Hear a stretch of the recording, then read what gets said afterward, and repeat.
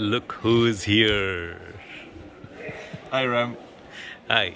So, Marc Miserez, what Yes. are you doing? Uh, I'm uh, preparing a small uh, lecture which is not for this meeting. Uh, Okay. But for someone else that I have At your to- level, the lecture should prepare for you, you know. Uh, well, no, no, no. I disagree, uh, Ram, because creating a lecture which is uh, good from content and presentation-wise takes a lot of time. You know that. You know that. All right. So, Marc, you are such a pioneer ah. who deserves much more recognition in No, history Ram, than please, he has. please, please, please, No, please. really. What was it? 2001 or 2002? 2002. You actually came up with the minimally invasive extraperitoneal approach, That's which right. subsequently is now known as ETEP. That's right. And And now I want to ask you a question which is very interesting.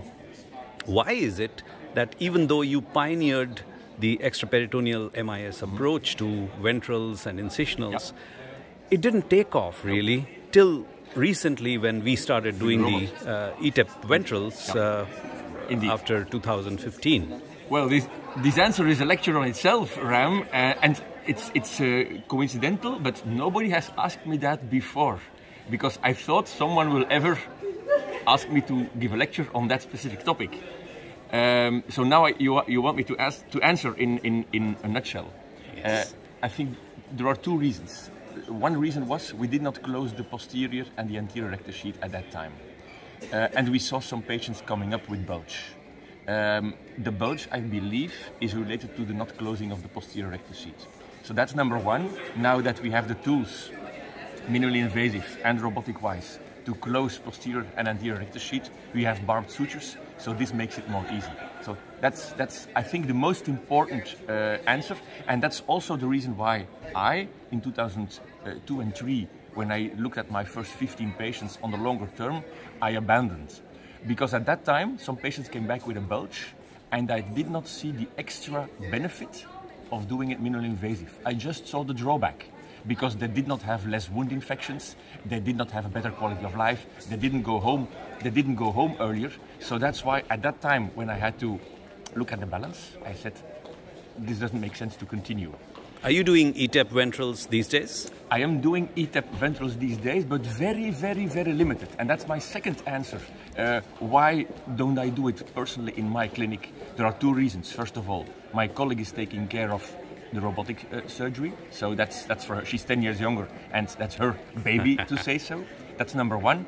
Secondly, with the current uh, generation of master-slave robots, I'm not so sure what exactly is the place for robotics. In the inguinals, I think it's very doubtful. You can discuss ergonomics for the surgeon, but this is another uh, outcome parameter, of course.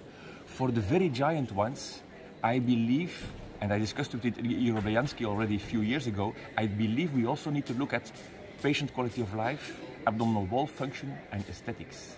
And in those large, giant hernias, 10, 15, 16 centimeter width, with retraction of the skin, with the hernia sac coming very close to the skin, I believe you can do a better job when you do it open, bilateral TAR, nice reconstruction, and closing the abdominal wall in different layers with a nice aesthetic and functional result.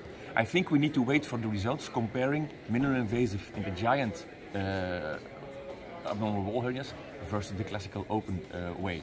And maybe a last remark, if I may, is we all know that doing an open TAR also, especially if you combine it with local infiltration, is very well accepted by the patients concerning reconvalescence in the first days post-op. So, and, and then in, the mid, in between, you have the middle-sized hernia. And we will hear it in the next session here in Copenhagen, whether it makes sense for a middle-sized hernia, four, five, six centimeter, to do that. I think it will for patients with diastasis, for patients with morbid obesity, for the patients where we believe that uh, limiting or diminishing wound complications is an important uh, aspect because of their constitution, because of their comorbidity. And there I think the robot might have a place. So you can see this is my second answer to the whole, to the whole question that you posed. The place now for minimally invasive robotic surgery or ETEP without robot, to my opinion, is limited. But of course, we need to be open. We need to examine it. We need to look at it constructively in a prospective way. And uh, well, we probably know more with uh, with the, the robots also now coming up from other companies. So prices will go down. It will be more accessible, and uh, ah, and and and and we'll see what, what's coming up in next meetings, next publications uh, in the years to come. As someone who pioneered a procedure and then had the honesty to abandon it, mm-hmm. your words definitely make sense and have credibility. Thank you so much, Marc Miserez. Very welcome, Ram. Very welcome.